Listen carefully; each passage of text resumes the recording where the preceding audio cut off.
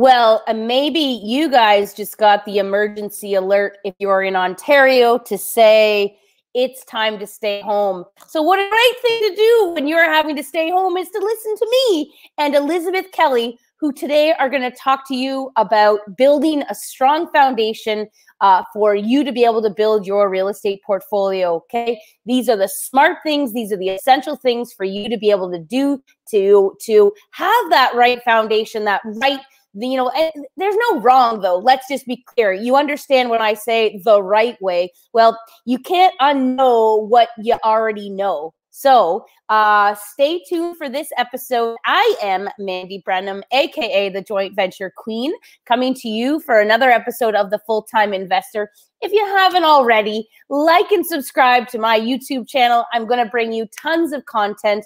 Got lots of stuff coming up in the pipeline. You're not going to want to miss that. Stay tuned, everybody.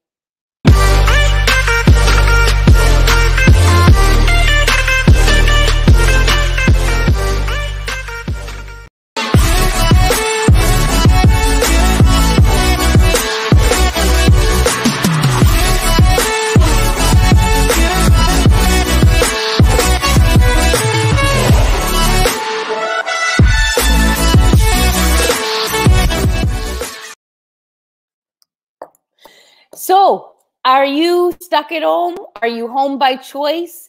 Do you feel that you're being told what to do? Or are you taking control? No matter what, you always have a choice. And I love that about the outcome, the outlook that I have on, on the way that I run my business. Okay. I have a choice and you have a choice, and you right now are watching, investing your time really wisely to be able to learn from myself and my guest today, Miss Elizabeth Kelly. Please, Larry, bring her on. hey, Mandy, thank you so much. Good to have you. Good to have you. Elizabeth, you have a plethora of real estate knowledge, education, history, why don't you just share and you're this you're not this isn't your first rodeo on my show so why don't you share with listeners a little bit about you and your real estate background and uh, maybe how you pivoted in the last year and a half to be able to um, you know be who you are where we are in the world right now Sure, absolutely. Well, thank you so much. It, it's lovely to be here because I think I was one of your first guests when you started. So, real honor to be uh, to be asked back again. And um, I've been an investor for about 15 years. I think I was thinking last night we've known each other a lot, a long time, eh? A lot oh, of that. 2014, at least 14, maybe 15, yeah. early 15. Yep. I remember yeah. meeting you because Andrew said, "Yeah, there's this girl, and she traded a vehicle for an apart for a building or for a property." And I was like, "I need to meet her." yeah, you know what? A lot easier to get financing on a vehicle than it is on a property. That's awesome. Um, yeah, it's uh, it's been a, a, wild and crazy journey. I mean, having been here 15 years, you know the the market is is unlike anything I've seen during my tenure as an investor. So I think you know the ability to identify what's working and what's not working and to pivot in the market is is definitely one of the hallmarks that a that a successful investor is going to need to have uh, in the next few years for sure. Um, one of the things that I focused a lot on myself and, and, worked with my coaching clients on over the last year and a half has very much been um, taking stock of what we have. And if it's getting this expensive to buy, then it's important that we uh, that we maximize every asset that we have. So let's take those single family homes, let's turn them into duplexes, let's put the coach houses out there, let's you know do some Airbnb, like let's you know, highest and best use of every single property that's already in our portfolio. And then once we've maximized everything, then we can look at moving on and and buying new stuff. But you know, 100, 150,000 to put in a basement apartment is way cheaper than buying a new single family home right now. We all know it. So yeah, uh, that that's brilliant. You know, and that like mm-hmm. to a T, build smart, build strong. Right? You got to be able to take a take a look at um, at what you have. So, but what if it's somebody who hasn't started yet? What is something that you would advise to a brand new investor to somewhat be able to look at or do at this time when the market is exactly how it is? Yeah. Well, I look at this and I go, this is absolutely the perfect opportunity to educate yourself. And a lot of people I find, um, you know, it's whatever is sexy or whatever they see the most about or whatever everybody else seems to be doing. And, you know, the the wisdom that when one person, you know, when everybody's doing something, you do the opposite and that's what's going to make you successful. It's the same applies in real estate. So when everybody's out there like bidding wars and frustration and, you know, 25 offers on a property, this is a great opportunity to go, okay, I'm going to educate myself. I'm going to learn a new strategy. I'm going to build my power team. I'm going to, you know, get all my ducks in a row for financing so that because the market always cycles. It's not like it's never going to go down. At some point it will come down again. So what better can we do than position ourselves and be poised and ready to take advantage of opportunities as they present themselves? I like to think of it as becoming the architect of your future. And it's fitting real estate into your vision of your life as opposed to trying to stuff your life into the time that's left over after doing real estate. There are a lot of people that say, oh, I should have started a year ago. Oh, you know, like all that kind of stuff. Well, you can't go back. So here you are. You know, recently I've had two very well known. Sarah Eater was on the show um, two weeks ago, and she described her journey starting off in a property management company. I've recently brought on somebody who had some real estate investing experience, but they've come on as my executive assistant, like blowing their mind with the learning that they're having just in the industry. Both of those ways to start out in real estate have nothing to do with buying real estate, except they have everything to do with real estate. Yeah. I think another great way to start, and I love working with with people to help them do this, but it's um, showing people how to invest their RSPs in real estate.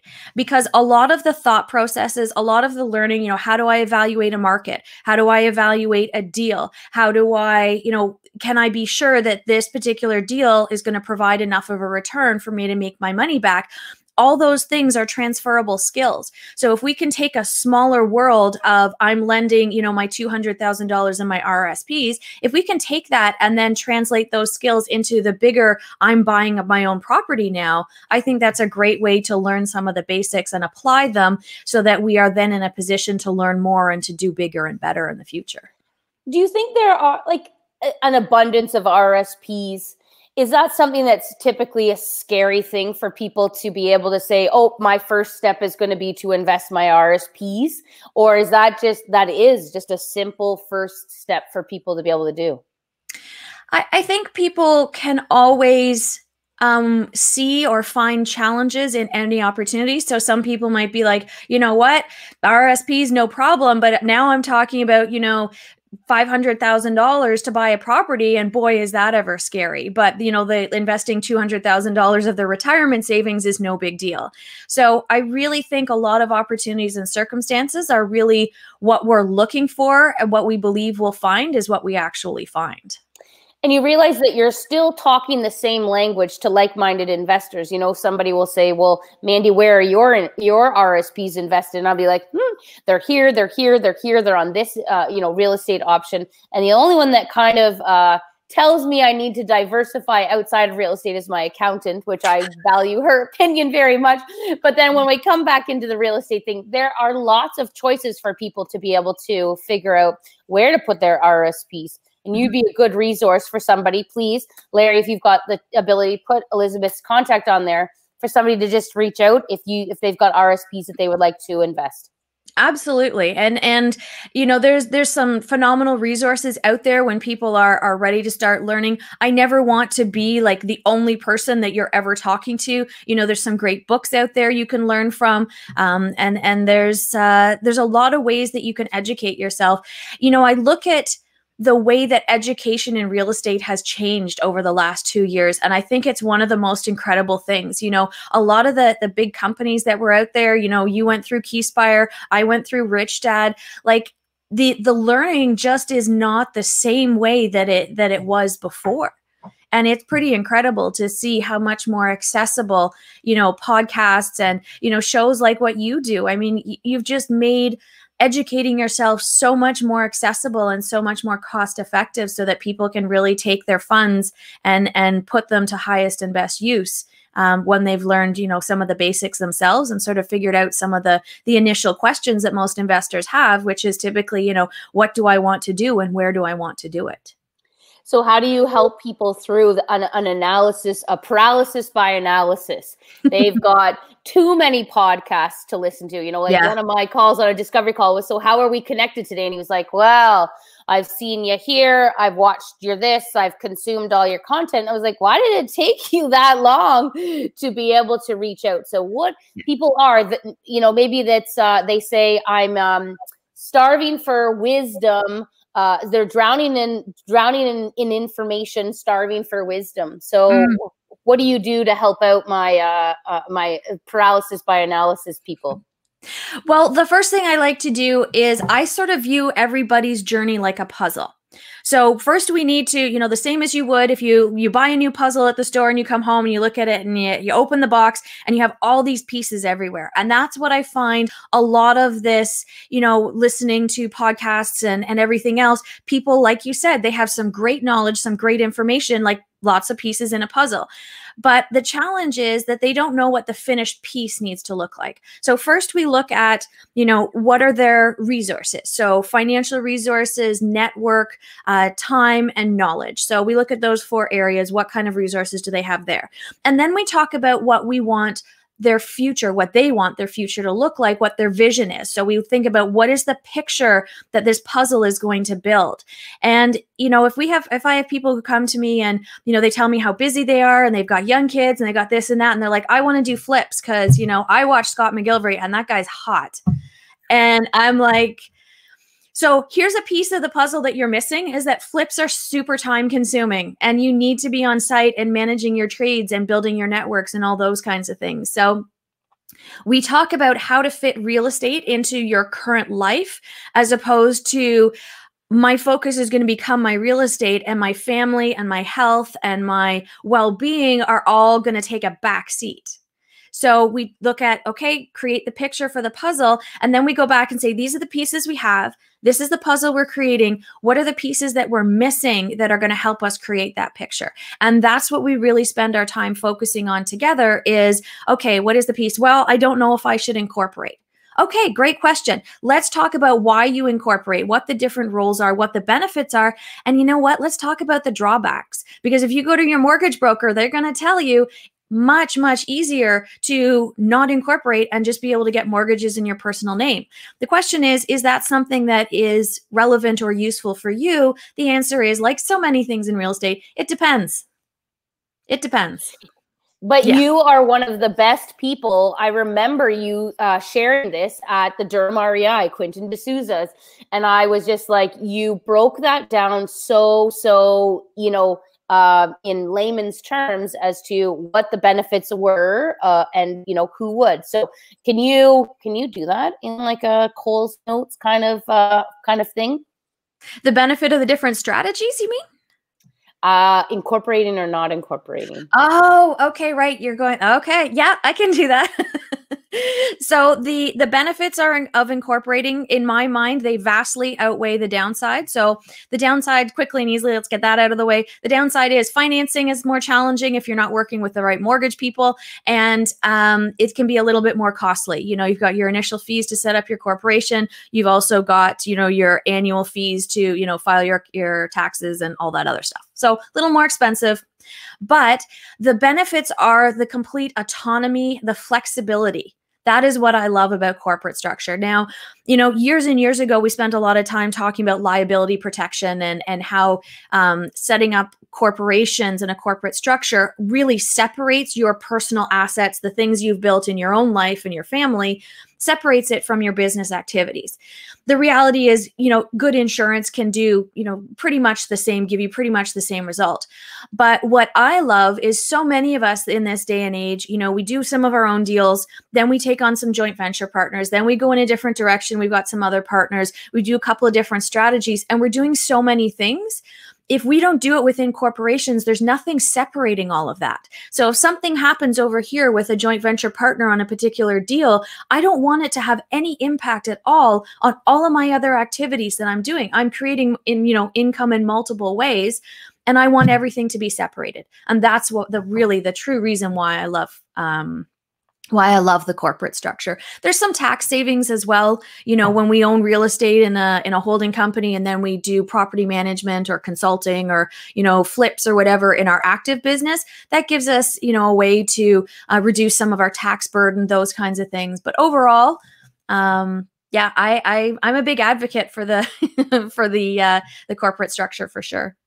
Absolutely. Wow. I your your experience teaching shines, Miss Elizabeth. Thank you. That's so sweet of you. It feels like oh. it's a while since I've stood in front of a classroom of people. Like, gosh, we're coming up to two years. I miss it, I have to say. As much as I love Zoom and I love the flexibility and everything, I, I still miss, you know, being able to to interact with people. I think everybody kind of does. So we yeah. just have to make the best of, you know, where we're at. But thank you. I do I do appreciate that. Coming mm-hmm. from a queen like you but tell us tell us a story about you know uh, there's a lot of people that know you and they're like oh elizabeth was a coach of mine you know back in the day. Uh, what's a story that you might have and i know i'm kind of putting you on the spot but where you saw somebody's light flick on that there you are coaching and they had an aha moment to say oh my gosh i've heard this i've read this whatever but you know just something that said you know thank you so much. You've you you made those all those pieces fit and uh and and you kind of started them off with a with a flicker of a flame. That's such an interesting question. Nobody's ever asked me that. I, I I think you flicked a lot of people's flames. I bet you just the way that you put your information together and uh, and and are such a clear communicator. I think that's so essential in uh, in in finding and selecting the right coaching group person. You know, whatever consultant is. Uh, you have a very simple way of putting all the pieces together that I can see some ahas go off in people's minds. Thanks. I, I appreciate that. I mean, I, I can't think of any it'll come to me in like two minutes, I'm sure, but I can't think of any specific situation. But I can definitely tell you what, like, I, I don't know if if you know, but uh, Rochelle Laflamme and Alyssa Thompson were students of mine in like 2012, and they were in some of the same classes with Stefan Aarnio. Like that's why I feel really old now. but um, it, it definitely like you can see the people who have the drive and and i could see it in you when i met you too um was that they just you know people don't they don't take no for an answer. They're just and i said to rochelle a little while ago when i had dinner with her i said you know what has made you so successful? And she said no wasn't an option. She's like we were oh. all in She's like, everything, she said, every dollar we had, everything we had was in. And she said, failure was not an option. So she said, and, and I started thinking about that and I'm like, what would I do differently if I was all in and failure wasn't an option? And I think that's, I've started looking at a lot of things in my life from that perspective. Um, and, and it can be something really small and simple, but I, I think it's a really important, I think a mindset is really important for an investor. And you know the willingness to learn the coachability the the desire to just be a sponge. Like i remember meeting with you over the years mandy and you were literally like as long as i would stay at the table and you could ask questions like two in the morning you'd be going and you were just this sponge and it was um it was amazing and it still is. But i look at the, your success and you can tell the people who are all in right from the very beginning. So uh, I just sort of view myself as as an as um I don't know maybe a signpost or a guide along the way, but uh, you know really it comes from within someone. That's a con- you're a conduit.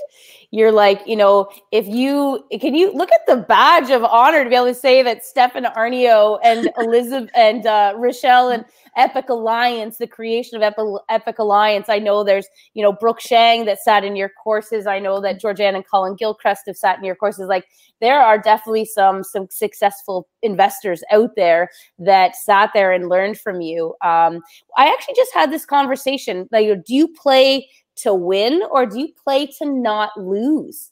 And you know, you'd be like, well, aren't they the same thing? Like not no. losing is winning. And I'm like, no, not losing is not losing. Not losing is is getting a 60% on an exam. Winning is getting a 100. There's a big difference. And you know, it's funny you mentioned Georgianne. I remember Georgianne because she was probably, I think she was pregnant with her second. And she was probably the most pregnant lady I've ever had in my class. And she tried so hard to stay awake during the course. and periodically she just kind of doze off and then she'd wake up and, and but she was there every day she showed up and gave it her best and i i have much respect for that Absolutely, absolutely. Um, yeah. So, you know, when somebody says you don't take no for an answer, what are some other qualities that come around with that? What is, you know, if somebody if somebody might be compromising on their choices right now, you know, what are some ways that we can offer to people to be able to get that mindset, that drive as no is not an option? Well, I think it's definitely a skill that can be learned. But if I had to pick two more skills or qualities that are present in successful investors, resiliency is one of them, and problem solving is the second one. Huge. And resiliency is the ability to, no matter how many times you get knocked down, no matter how many times you hear no, you get back up and you say, What do I need to do to keep moving forward? And sometimes it's just about persistence, but other times it's about strategic pivots.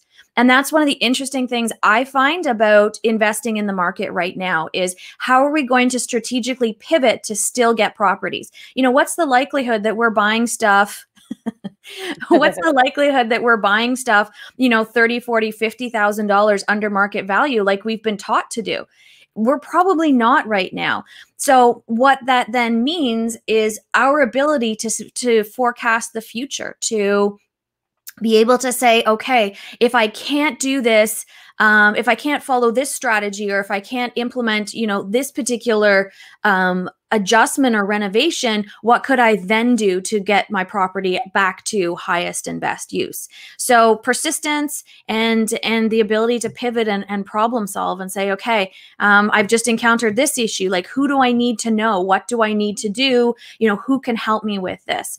And I think that's part of being a sponge is not having an ego that's so big that it doesn't allow others to help you and assume that, you know, nobody knows as much as you do or nobody fully understands your situation. So nobody can really help you. I think ego, uh, e- there's a lot of egos in real estate for sure, but most of the time it's because people have been sponges first and continue to be sponges. Yeah. I was I was on a call yesterday where I I I initiated the call and I made more notes than anybody else because I was just like, oh my gosh, this is such good information, good line of questions, um, you know, good good people to have on the phone. And you know, why are they why are they asking this angle? What does this even mean, Mandy? Note to self: you're going to need to know what this is if you mm-hmm. want to be able to, you know, be the one answering these questions for other investors. So always be a sponge. The second that you think, the second yeah. you think you know, the universe is going to go, well, they're ready for, for the next next layer of problems, right? I yeah. still remember going back Andrew and Gary McGowan after one of our one of our meetings having the burst pipe story. Yeah. And Larry and I thought we were like the world was going to end. We had a frozen pipe. Oh my gosh. And it was in the bathroom and minor little wit. Larry fixed it. Uh, Gary McGowan had a skating rink in the bottom of a property that was for sale because, you know, the manager only went in twice a day and you think, oh my God, that's got to be bad. A skating rink in the basement. And mm-hmm. Andrew's story was that there was water flowing out the front door, and and he got a call from the city officials. So yeah. I mean, like realistically, if you're not always thinking that there's somebody that you're going to be able to learn from, you're you're kind of missing some of the beauty of uh, of of everybody that's around you. Yeah, and and as long as I've been a coach and a trainer, I learned the most amazing stuff from my coaching clients. Like I love, you know, with them, we were able to delve deeper into markets than I would have the time to do on my own. You know, we're able to, you know, talk about, and I spent a lot of time with my clients lately talking about, you know, what is the best use of a property. And I had a great call with one of my coaching clients yesterday, and we were talking about the need. She's got a, a just recently finished duplex, and she's, you know, within 10, 15 minutes of a hospital. And we talked about the need to provide medical, to provide facilities for medical staff to quarantine quarantine. And it's not going to be that forever. But if you can offer someone a nice three bedroom apartment, you know, I talked to I have an awesome VA who is currently in quarantine right now. And she said the hardest thing for her, she lives on the 15th unit of an apartment building and she can't exercise. So I said to my coaching client, make sure you put in exercise equipment because oh. you know if you're offering hey you know what? You know someone who's health conscious like a doctor or someone in that you know field and you know I, i've just been exposed to covid i need to quarantine for 14 days you're not going to assume that they're just going to be a couch potato and want to lie around and watch netflix for 14 days. They're probably going to do something or want to do something that keeps them somewhat healthy and, and still in the game. So you know being open to learning i think is is absolutely essential in the world of real estate because it's constantly changing. The second you think you know everything, the second you think you need you know more than everybody in the room, you better change rooms. That was just like a 10,000 plus dollar tip right there. uh, so I hope everybody kind of got that. Depending on the location of your property, look at, you know, long term we'll call it short term, but it's you know purposeful uh, furnished rentals uh, to a specific market that is a great clientele uh, and and the the services to be able to provide to them to be able to um, get in and and offer them you know a higher dollar value for your rental rates like holy yeah. schmoly that would be awesome so um wow gosh girl, you, I, I, we had this discussion tomorrow. What do you want? What do you want? What do you want to talk about? And you're like, we could talk about anything, Elizabeth. You can probably talk about anything real estate related. I love honestly I love real estate and and the funny thing is, you know, I've been a property manager for a long time. Do I love the property management? No, I don't.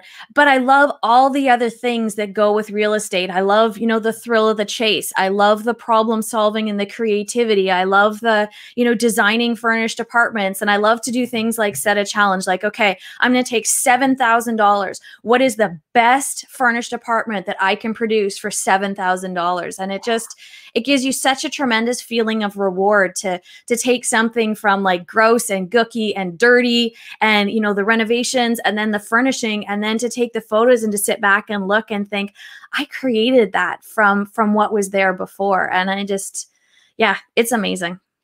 So Colin and Georgianne asked me to uh to get you to tell the pig story. Oh that one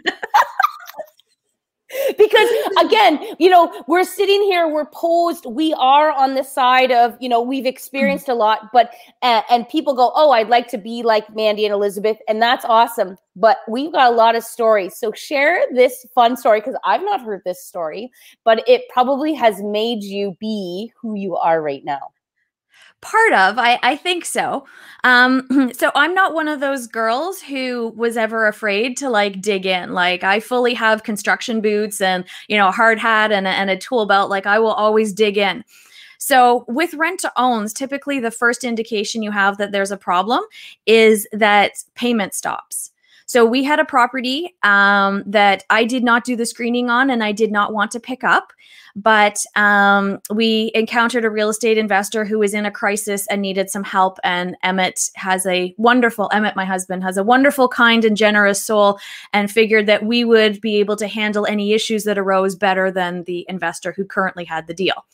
So we picked up the deal, we closed on it, and um, tenant buyer was not anyone I would have accepted. You know, not great uh, income source, not super um, aware of the responsibilities of home ownership, and and not super motivated.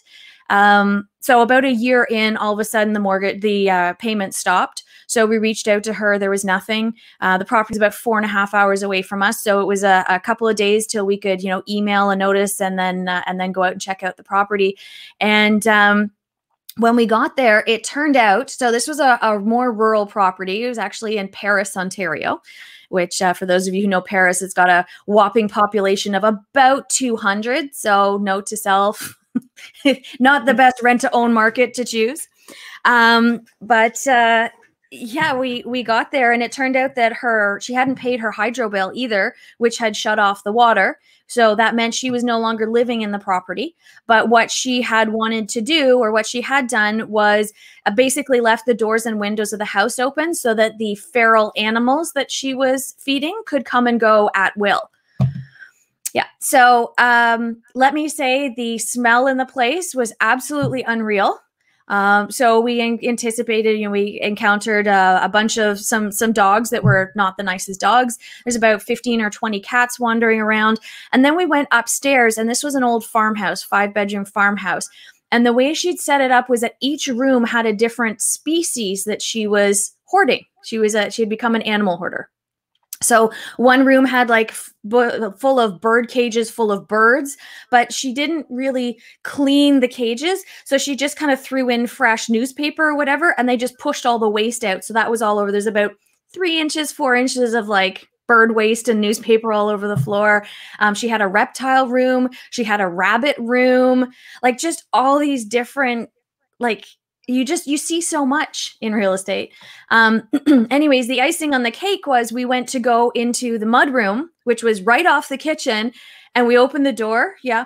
There's this like 400 pound barn sow like just hunkered against the wall in the far room. We open the door. She looks at us. We're like, oh, she was so mean.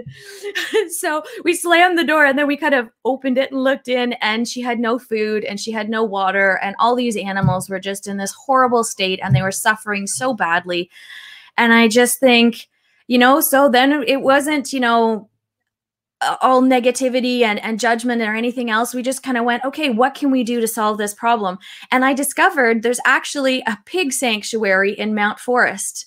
So we call the pig sanctuary. They come out with a Jeep and a big sheet of plywood. They put the plywood down. They chase the pig up the sheet of plywood into the Jeep and then they drove it away. And the pig lived in a pig sanctuary in Mount Forest for the rest of her life. So, um, yeah, it's really about finding opportunities, finding solutions, I think, most of the time. But that's my pig story. That was probably one of the craziest things we've ever found in one of our properties was that's a awesome. 400 pound barn sow.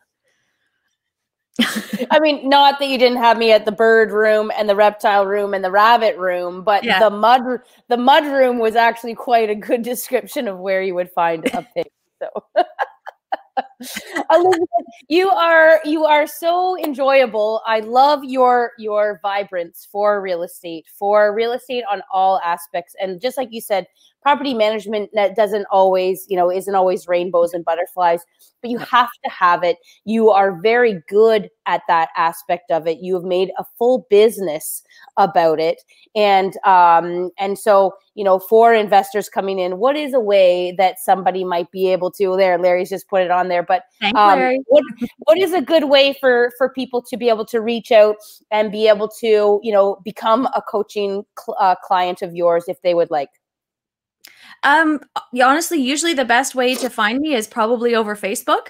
Um, but um, uh, info at, or sorry, uh, Elizabeth at EK Consulting is probably the best there. Thank you, Larry.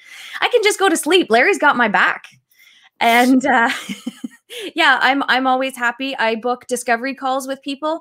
I think it's really important to make sure that there's a fit. So I'm not really high pressure sales. You know, I'm I'm happy to spend 20, 30 minutes talking to someone about what their goals are, you know, what their vision is, and make sure that I'm the right person. Because if I'm not, there's a wealth of really amazing people out there like you, Mandy, who, you know, have so much to offer, so much to share. And uh, it's about finding the right person to help you take the next step in the journey. It's not about, you know, oh, well, I don't want to, you know, do this or I do want to do this. It, it's about being open and and learning who the next person is to help you to help guide you along in your journey. That's awesome. That's awesome. Thank you so very much for your time today. You're most welcome. And uh, and for being here. So um, thank you, everybody. Miss Debbie Gilbert, you uh, hold a special place in our hearts too. The three of us have had some fun times together. We have Every time blueberry season comes around, I think of you ladies with with gratitude and gratefulness. Yeah, yeah, yeah. And you know what? You do become friends along the way. You know, you might not see each other and you know, we're not we don't invest in the same neighborhoods, but there is uh there's definitely a camaraderie around investors. So don't hesitate to reach out to people to create a circle of like-minded uh people that I remember um, you know, calling you and we started a little mastermind because I was like, who would understand what I'm going through right now? You know, you get into these little these little fits of nobody will understand it, and except I said who would understand, and up pops Elizabeth's. Um, you know, your your name was top of the list, and I was like, I need to reach out to her right now to be able to say what is some good guidance that I can have in this situation. So, so thank you. Oh, I appreciate that. And and honestly, Mandy, it has been so inspiring to watch you grow and and to see you like and you haven't, you know, a little bit here, a little bit there. You've you've just you you've blossomed like you you've you grow like a firecracker. So um congratulations on on you know everything that you've accomplished and and in such a uh, you know in the grand speaking um span of time. It's it's really just inspiring to see everything that you've done. So congratulations Thank for you. that. Thank you. Thank you, everybody. Looks like there was lots of people uh, watching today. And I, I hope if you're having to stay home because, you know, here in Ontario, again, we had that, that alert. So, you know what? Do what you need to do. I support you. I respect your decisions just the same way that I know that others support uh, and respect my decisions. So stay safe, however that needs to be for you. And uh, I will see you next week, same time, uh, here on another episode of The Full Time Investor. Have a great week, everybody.